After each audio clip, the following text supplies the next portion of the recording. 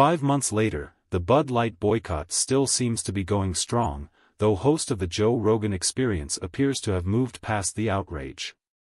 Whether you think Joe Rogan is a credible source or just a gasbag. He'll always tell it like it is and provide intriguing and thought-provoking conversations with his wide range of guests. And as of late, he hasn't shied away from cracking open a couple of cold ones during interviews, and his drink of choice has been Bud Light.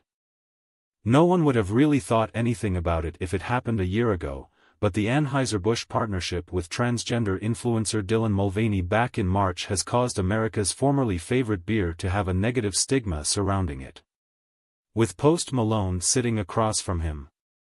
Rogan addressed the negative aura around the beer when he asked the pop rap artist to hand him one.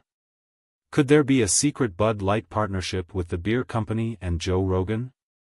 If you put on your tin foil hat and think about it. It could be possible that Rogan is the man tasked with subtly de-escalating the boycott.